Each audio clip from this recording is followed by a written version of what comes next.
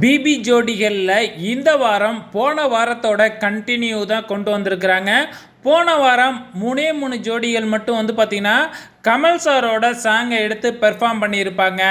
அதோட கண்டினியூவாக இந்த வாரம் ஹாலிவுட் ஸ்டார்ஸ் அப்படின்னு சொல்லிட்டு மீதி இருக்கிற இருக்கிற அந்த அஞ்சு ஜோடியையும் பெர்ஃபார்ம் பண்ண வச்சுருக்கிறாங்க. ஸோ இதில் ஆளாளுக்கு ஒவ்வொரு ஸ்டார்ஸ் பாட்டு எடுத்து டான்ஸ் பெர்ஃபார்மன்ஸ் பண்ணியிருக்கிறாங்க. அவ்வளோதாங்க வேறு எதுவுமே இல்லை. ரெண்டு வாரத்தையும் சேர்ந்து யார் பெஸ்ட் பெர்ஃபார்மர் அப்படின்னு தேர்ந்தெடுத்திருக்காங்க அப்படின்னு பார்த்தீங்கன்னா இந்த வாரம் இசைவாணியையும் வேல்முருகனையும் தாங்க தேர்ந்தெடுத்திருக்கிறாங்க.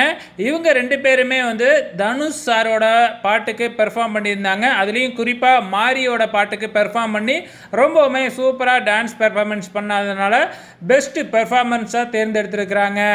ஸோ இந்த வாரம் இதோட முடிஞ்சிடுச்சு. ஸோ இந்த வாரமும் ஒரு காம்படிஷன் சுற்றா இல்லை.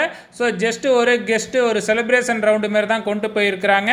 இந்த வாரம் வந்து பார்த்திங்கன்னா ரம்யா கிருஷ்ணன் மேம் மட்டும்தான் நடுவராக இருந்திருக்கிறாங்க. ஸோ இன்னொரு ஜட்ஜ் வரவே இல்லை. அடுத்த வாரம்னாவது காம்படிஷனை ஸ்டார்ட் பண்ணுவாங்களா அப்படிங்கிறத பொறுத்திருந்து பார்க்கலாம்.